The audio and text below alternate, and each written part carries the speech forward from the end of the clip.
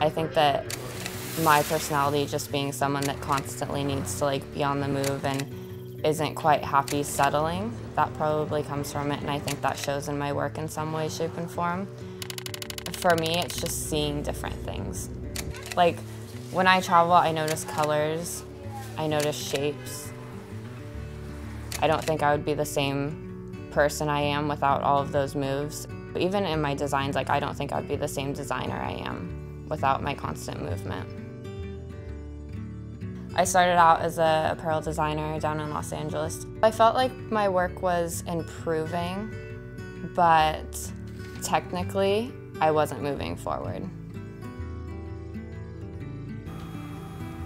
I came to Shillington because the portfolios were absolutely gorgeous.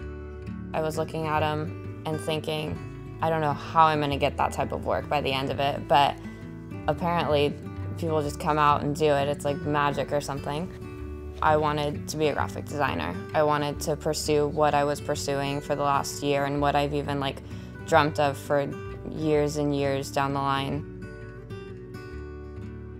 I think the number one thing that Shillington gave me is confidence. So confidence to actually show my work because that was one thing that I was really shy about.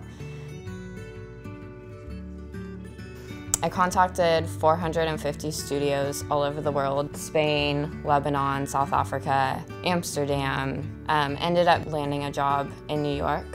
And I'm gonna grow as a designer, whether it's like two years, five years, six years, seven years, but I can really take that anywhere after that. I have the skills to move in different directions now.